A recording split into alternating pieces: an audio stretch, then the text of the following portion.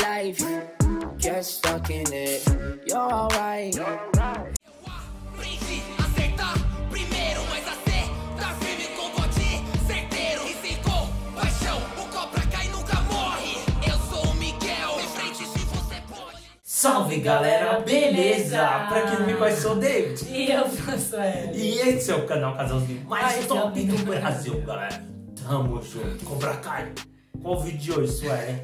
Hoje a gente vai reagir. A malvada passou dos limites. Análise mil grau. Nele na gatora. Nagato-san, galera. Essa é a quarta análise, né? É a quarta A análise. quarta, galera. E É. ó, firme forte, hein? É, Então, forte, bora pro fight. já Então, deixa o like pra fortalecer a gente, beleza, galera? vídeo. E se inscreva no canal se você ainda não for inscrito. Tem vídeos novos todos, Todos os os dias. E é isso aí, lembrando, eu não tenho ciúmes das meninas do anime, não, gente. Eu, tenho, eu fico com raiva das piadinhas que ele faz. Aí eu fico com raiva. Aí, ó, que começou o vídeo, É ela porque eu já conheço tá a sua querendo- risada de Já maldade. tá querendo me atacar. Lógico, porque eu conheço a risada galera, ó, de a maldade grade dele. chega semana que vem. A grade vai ser muito top. eu vou estar Aham. prendidinho aqui, vou ficar só assim, ó, só de boa, Vai, analisando.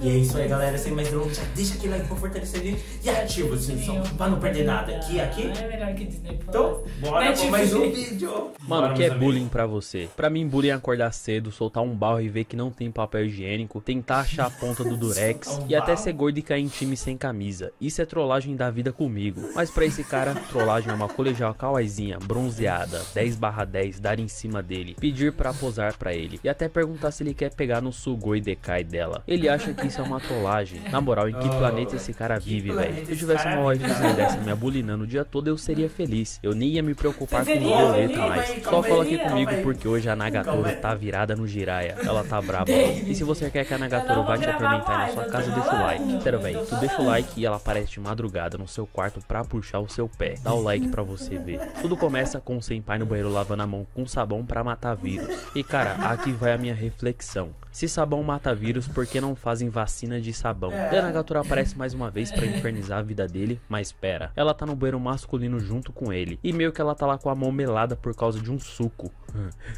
O que que ela fez? Ela enfiou a mão dentro da jarra do suco, foi? Ela fica lá ensaboando a mão e ele fica lá observando ela ensaboar a mão. Tem coisa melhor do que ver uma pessoa ensaboando a mão? E por falar em sabão, quem já comeu esse suspiro? Esse suspiro tem gosto de sabão, mas eu gosto. Ela dá um sorrisinho maligno e chega bem pertinho dele. E é claro que ele já vai se sentir violado, porque esse cara, sei lá, mano, esse cara é mongão demais. Tem cara que nem come a janta toda. Ele reclama que tá apertado e ela já manda uma frase motivadora. Já que os dois estão ensaboando a mão juntos, que tá um ensaboar o outro no banheiro. Véi, depois que esse moleque escuta isso, ele quase desmaia. Eu acho que esse cara queima. E essa Nagatoro, se eu fosse ela, já tinha desistido desse senpai. Desse senpai brocha. Ela encosta a mão na mão dele e ele já fica em choque. Ela dá aquele sorriso maligno, hehehehe, boy. Dá aquela esfregada na mão. Já que não tem vaselina, vai com sabão mesmo. E eu acho que o senpai é mais forte que o receptáculo do Sukuna. Eu acho que ele aguenta mais dedo que o Itadori. Ela fica esfregando a mão na mão dele de uma forma perturbadora, assombrosa e asquerosa que eu nem vou mostrar aqui, porque eu sei que tem casal assistindo isso aqui, hein? Eu senpai já fica todo apavorado e sai correndo um milhão todo desesperado. Porque pra ele isso é bullying, né?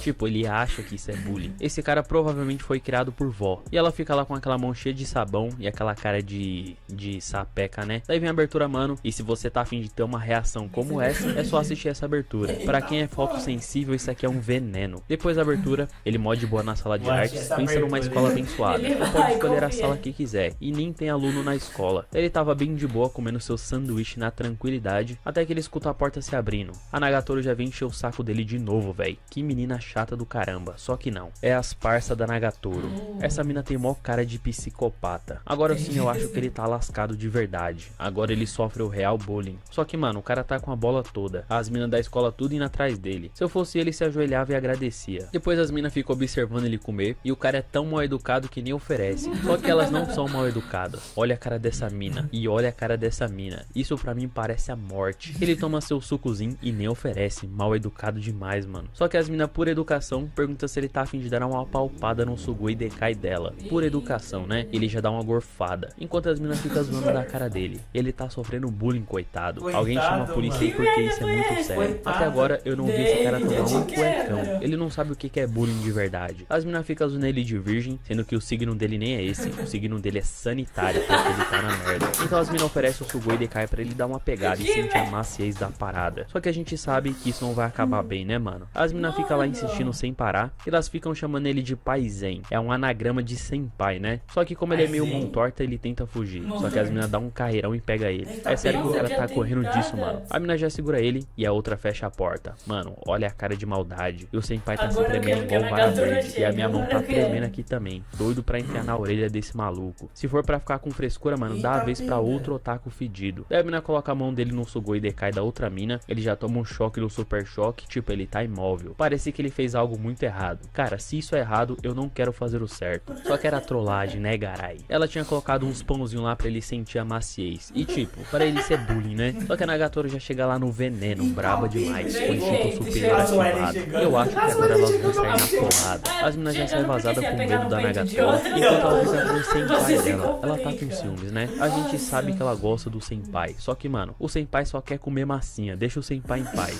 Vem aqui atazanar a vida dele. Daí ela pergunta se ele pegou lá no negócio da mina. Até porque ele é um tarado enrustido. E ele fala que não. Que era só um pãozinho, nada demais. Daí a Nagatoro olha pra cara dele e já fica cascando o bico da cara dele. É claro que ela tem um plano maligno em mente. Ela vai colocar esse plano em prática agora. Tadinho do senpai, né? Tadinho do senpai. Tadinho caralho. Ele fala que nem queria pegar no Sugoi Dekai dela. Mas se fosse um malaquês, ele com certeza pegaria. Só que a Nagatoro oferece a mesma coisa pra ele. E se ela deixar ele sentir a maciez da parada, hein? Mano, que protagonista chato. Esse cara só me faz é raiva. Mas ela tem um plano maligno pra fazer tudo ficar interessante. Ela pega um bolinho na sacola, só que não é um bolinho comum, é um bolinho premium. Esse daí é raridade. E esse tipo de coisa interessa o senpai. Falou em comida, ele já fica frenético. E ela pergunta se ele quer experimentar. Mas agora ele tá em uma roleta russa. Ele vai ter que adivinhar pela maciez entre o bolinho dela e o bolinho da amiga dela. Agora pronto. Tudo pra esse carniça é bullying. Ela pega os bolinhos, coloca lá você sabe aonde e manda ele escolher.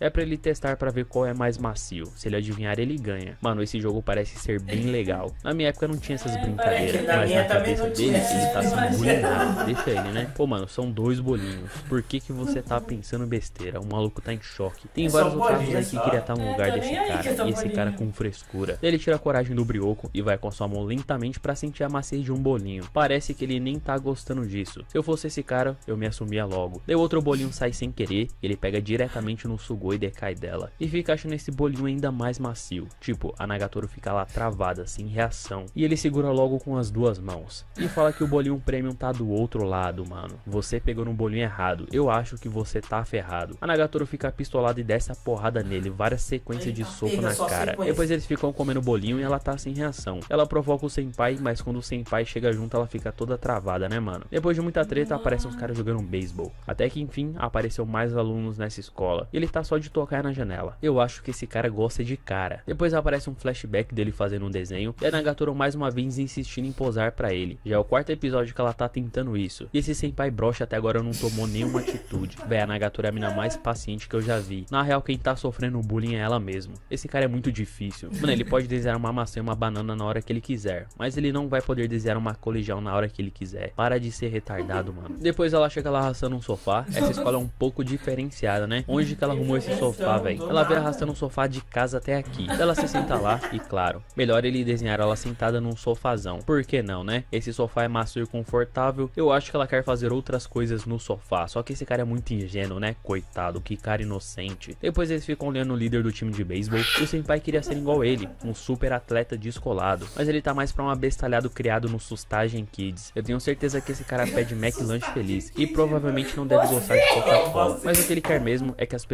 elogiem ele. Tipo, ele quer ser elogiado. Esse cara é muito é folgado. Ele quer ficar sendo mimado. Mano, como eu queria ver esse cara sofrer de verdade. Só que a Nagatoro tá aí pra elogiar ele. Apesar dele não ter nenhum talento. Porque desenhar mesmo ele não sabe. Mano, olha a cara da Nagatoro. Eu consigo pensar em mil coisas que ela tá pensando agora. Ela pergunta se ele elogia os outros. Tá vendo? O cara não elogia ninguém quer receber elogio. Tem que receber elogio na cadeia, mano. Daí a Nagatoro começa si e ele vai ensinar ele a elogiar as pessoas. Então faça o favor de elogiar ela. A conversa virou de cabeça pra baixo do nada. Ele ajeita o seu óculos como se fosse um protagonista foda, sendo que ele não é, e fica pensando em elogiar o rosto dela, que até que é bonitinho. Mano, olha as coisas que esse cara fala. Como assim até que é bonitinho? Ele poderia elogiar as pernas dela, mas isso seria meio que um assédio. Ou então dizer que o cabelo dela tem um cheiro bom, mas daí seria outro assédio. Ele começa a dar tilt e falar que o cabelo dela é bem cuidado.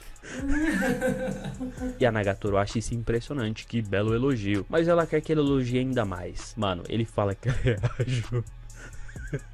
E ela começa a pular de um lado pro outro, igual uma Debbie Lloyd. Mano, a Nagatoro não bate bem da cabeça. E ele fala que ela sabe dar um chute muito maneiro. Aí eu tenho que concordar, esse chute realmente foi massa. Mano, ela fica toda envergonhada do nada e fala obrigado, né? Obrigado de nada. E como ele elogiou ela bastante, ela vai dar um elogio pra ele também. Tudo que vai volta. Ela fica observando ele, analisa ele em 360 graus e por fim ela consegue deduzir uma única coisa: o rosto dele é engraçado. Ela até fala que o rosto dele é como se fosse uma careta. Ela até manda ele tirar a máscara. Caramba, que elogio, hein? Se isso é um elogio, eu não quero ser elogiado. Daí o olho dele começa a dar um streamlick, porque o choro já tá quase saindo pra fora. Esse cara chora por tudo. Se você fala um A, ele já tá chorando. Mas ela não vai deixar ele chorar. Ela vai pra cima dele, chega bem no pescoço e ela fala que vai posar pra ele. Ela se senta no sofá, faz uma pose kawaii, depois faz outra pose kawaii. Mano, a Nagatoro é muito kawaii, você tá é maluco. É a waifuzinha perfeita. Ela faz uma pose mais caliente, né? Mas ele só quer uma pose normal. Depois ele aponta um lápis com estilete. Olha o tamanho dessa ponta. Um lápis desse na mão do John Wick, ele faz estrago, hein? Ela fica lá sentada parecendo um anjo. Quem vê, pensa. E vai ser agora que ele vai começar sua obra de arte. Só que ele tá com vergonhinha, né, coitado? O cara tá todo vermelhão. Daí ele manda ela arrumar a barra da saia, porque ele não gosta de ver essas coisas. Essas coisas são perturbadoras. Depois toca um alarme lá. O dia já tá quase acabando e ele nem começou a desenhar ainda. Eu não faço a mínima ideia do que se passa na cabeça desse cara. Depois de toda essa enrolação, a Nagatoro meio que começa a pegar no sono. Escola boa. Não tem professor, não tem aluno e então ainda pode dormir aula. na sala de aula. Na minha época, se eu dormisse na sala de aula, além dos alunos empilhar um monte de caderno em cima da minha cabeça, eu tomava reguada da professora. Eu sei que a Nagatoro pega no sono e fala que quando ele terminar de desenhar, ela vai dar uma recompensa. Mais uma daquelas recompensas que na verdade é uma trollagem. Ela dorme igual a Mandinha e sinceramente eu não sabia que as meninas dormiam assim. Mano, as meninas dormem iguais os homens. Eu achei que era uma parada diferenciada, sei lá, um jeito fofo e kawaii de dormir. Isso daqui tá parecendo mais a um velório. Ele fica feliz porque ela dormiu, agora ele vai conseguir desenhar ela em paz. Ele fica lá rabiscando a folha. Ele nem desenha tão bem assim.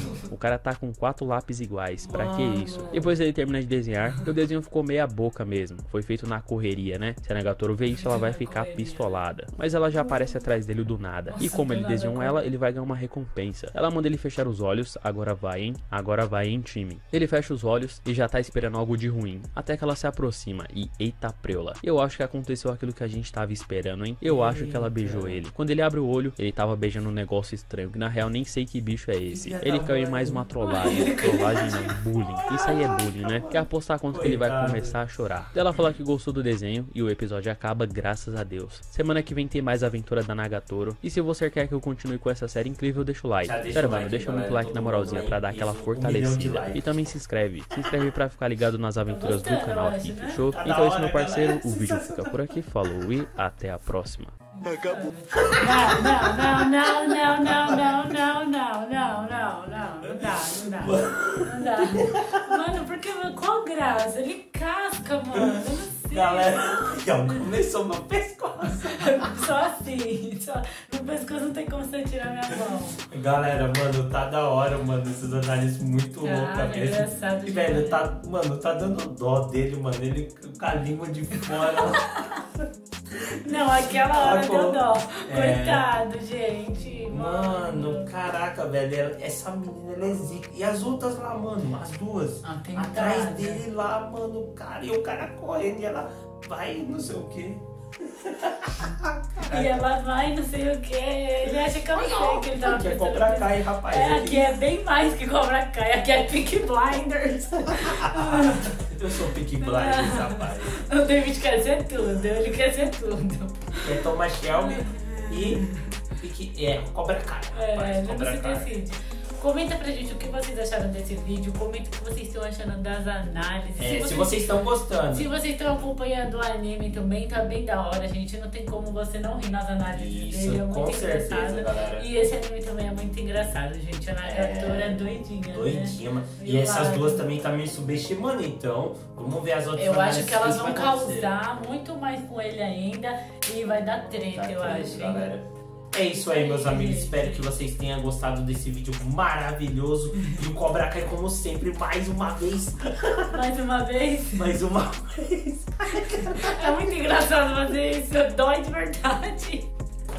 Mais uma vez aqui sobreviveu, como sempre. O Cobra Kai nunca morre.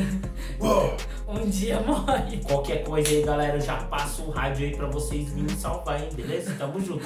Já desce um helicóptero aqui, eu pulo aqui, rapaz. Vai Já pego nessa. minha mochilinha. Vai nessa. É Então, isso aí, gente. Se vocês chegaram até aqui e gostaram desse vídeo, muito, muito obrigado pelo seu like, pelo seu feedback. Tamo junto. Então, até o próximo vídeo.